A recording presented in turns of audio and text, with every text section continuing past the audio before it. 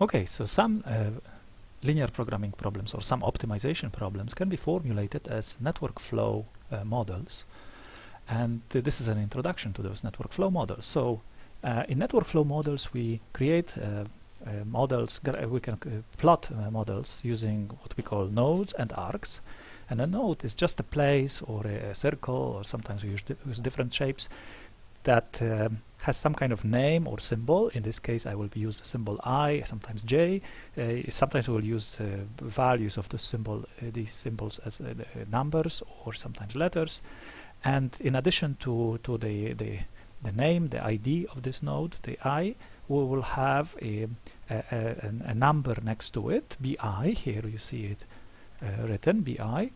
And the uh, Depending on the value of this number, the node may have a different interpretation. So the node might be a sink node, uh, which means it has some kind of demand of BI units. So for example, this is the, the example, uh, 150 units of some product are needed here.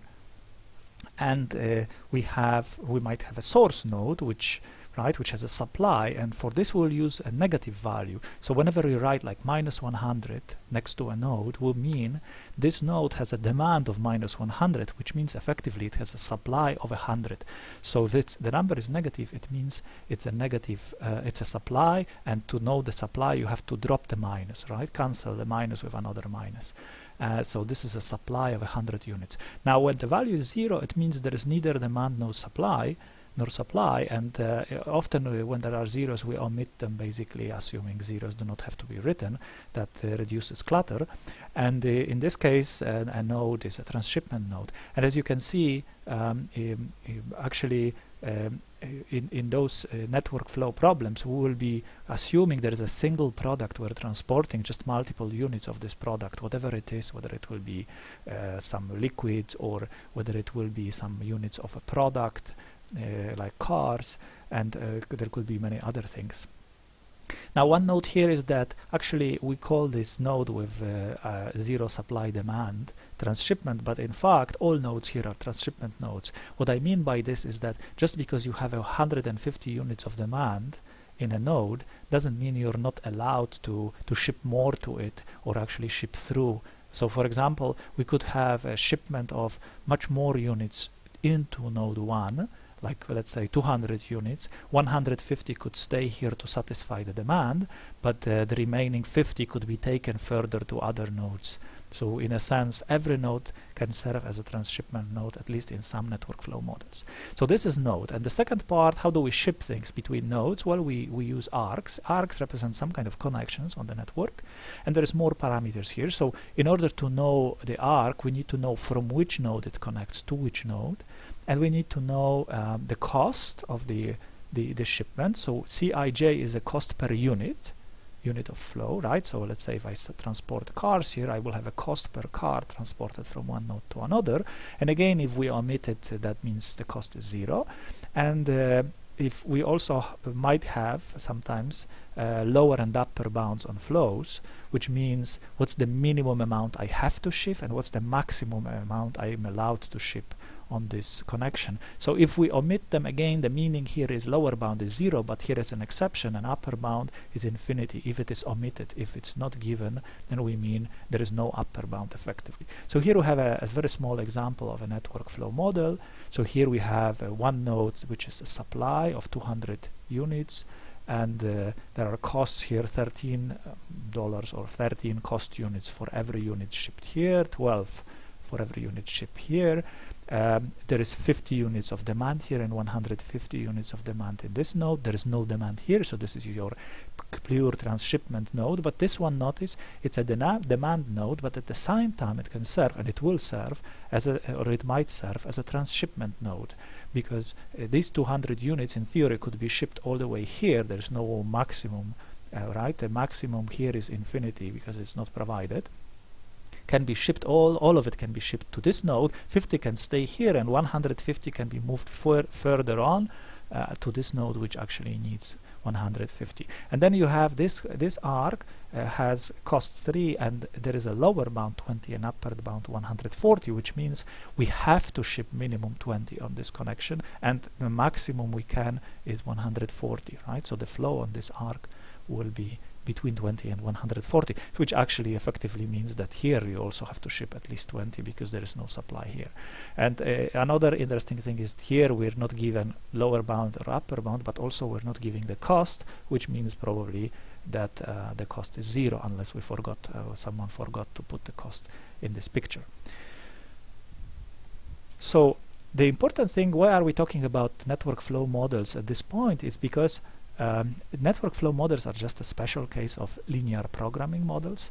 So network flow models can actually be solved as linear programming. So actually, they, they you could say they are a special case. Okay, and uh, for any network flow model, um, you can always formulate this linear programming model by uh, doing the following. So you take xij will be your decision variable on how many units are flowing or how many units are shipped from node i to node j. So for every arc that we had in the network, we formulate, uh, we, we put a decision variable, right? Uh, what we want to decide is this one product with multiple units and multiple nodes, maybe multiple supplies, multiple demands. How many units should flow on this particular connection, on this arc ij? Right? And then uh, the, the objective is usually minimizing the total cost, so you need to take the sum product of all the cost, unit costs times all the va decision variables which represent uh, units shipped, right? And so this usually is a very big sum if the network is large. Sometimes there are alternative objectives like maximizing, but the standard objective is minimizing total cost. And then the constraints, the main constraints are just of one type. This is basically the same thing written twice. Uh, and uh, the format you can write them, uh, the standard format you can write them in is inflow to node i minus outflow from node i and then we put equal, sometimes less than or equal, sometimes greater than or equal bi. I'll explain the signs later. I want you to understand why this first. So basically, if you think about this constraint is for node i. What do we see in node i? In node i, we see well, there is a certain demand or supply, depending on the sign of this, or there could be zero, right?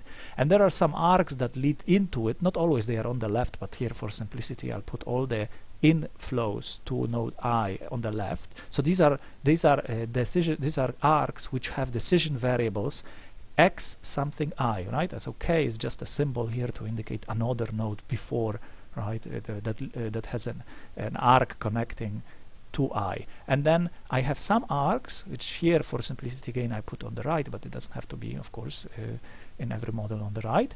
Um, here I have some arcs that go that uh, take units of flow out of node i to some other node. So they this other node is just indicated here as L. So you see my inflow here what I mean by inflow is sum all the variables that have second index i and the first index whatever right? Anything else. So sum over all k's xki's.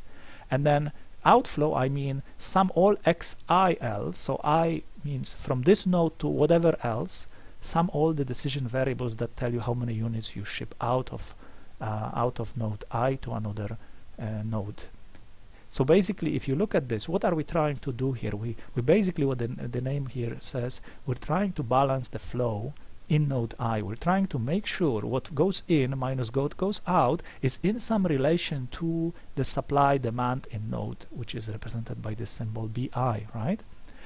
Um, and then the second constraint is uh, the, just the bounds here, right? So this is really a more complex version of uh, uh, uh, lower bounds. In, in the simplest case, remember in linear problems we have non-negativity constraint, but here we have a more complex, uh, gen in general format, we have a more complex version, which means xij has to be at least some lower value and at most some upper value. And if you recall, if they these uh, lij and uij, when they were omitted in the network flow, then we said um, the, the lij is 0 and uij is plus infinity, which brings you back to our default, uh, the most common case in linear programming.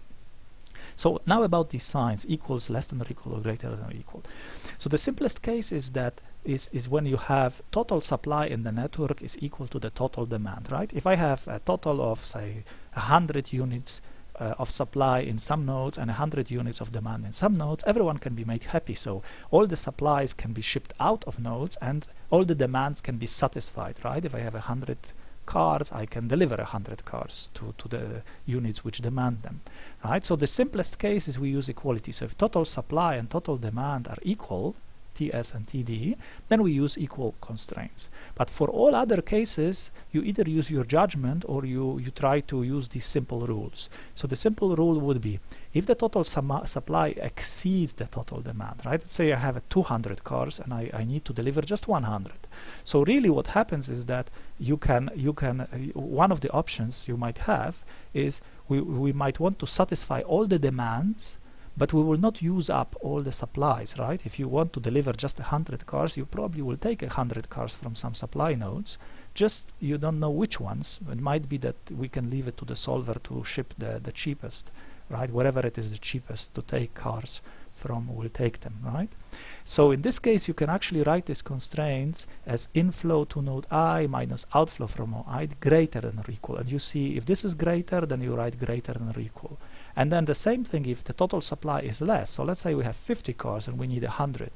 So we might want to say, let's ship all the supplies and satisfy up to the demands, right? So deliver whatever is demanded or less. We will not be able to satisfy all demands with equalities, uh, right? Because the total supply is smaller than the total demand. In this case, uh, we write the constraint inflow minus outflow less than or equal bi, and again, less for less than or equal is an easy thing to remember.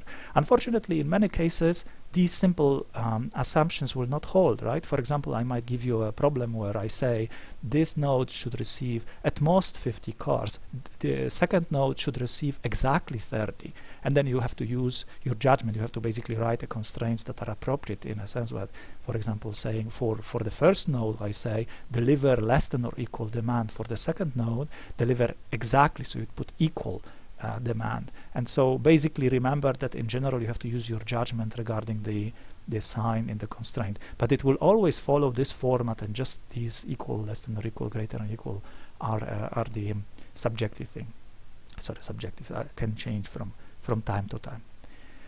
So one thing that I want to add here is that there are certain facts that you should remember and you should use as checks for your network flow models when you write them as linear programming models. For first thing is that uh, for every arc, for every connection i to j, there will always be a decision variable xij, right? If I have a connection um, somewhere in the network flow, I will always put a decision variable xij for it. So the simple thing is, if I had 20 arcs in my network, I must have 20 decision variables, right? There cannot be less or more.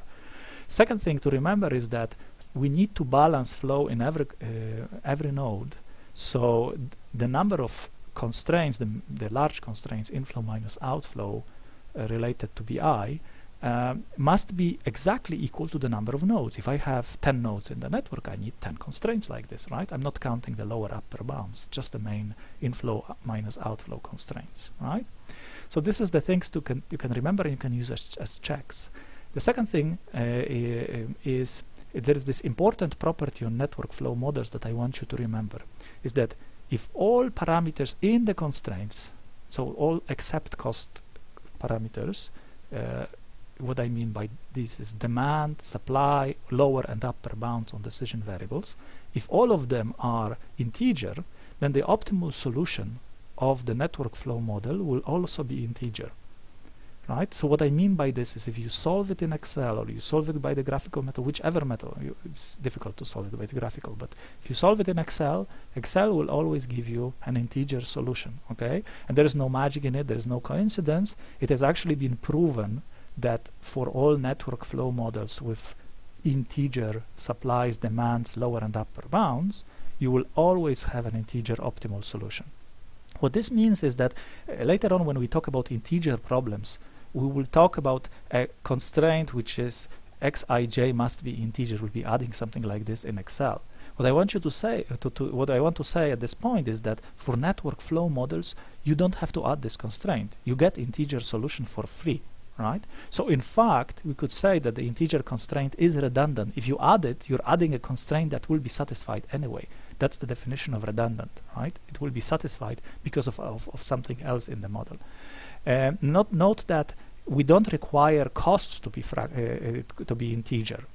Uh, so costs can be uh, fractional, and all we are saying is that BIs, LIJs, and UIJs need to be integers. So what I mean is that uh, the supply or demand has to be integer and the lower bound or upper bound on the flows must be integer, right?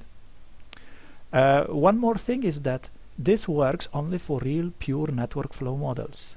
What I mean by this is that if you suddenly add a constraint that says, um, yeah, this is a network flow model, but I would like to to request that you know uh, there some put some additional constraints that are not represented by the graphical representation of network flow. Like I would say, for example, oh, this flow must be at least 50% of another flow.